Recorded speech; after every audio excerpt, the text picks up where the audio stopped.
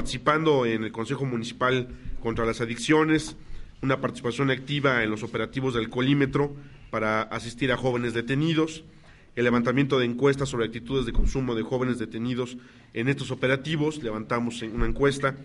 la difusión de materiales del programa federal Poder Joven contra las Adicciones, la capacitación del personal del Instituto Mexicano de la Juventud y así como otros jóvenes de universidades y de acciones civiles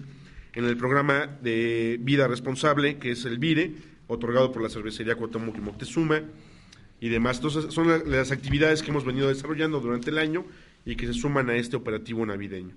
Eh, podemos hablarles algunos datos acerca de que en México existen 32 millones de bebedores, en México más de 500 mil jóvenes de entre 12 y 25 años tienen problemas con su manera de beber,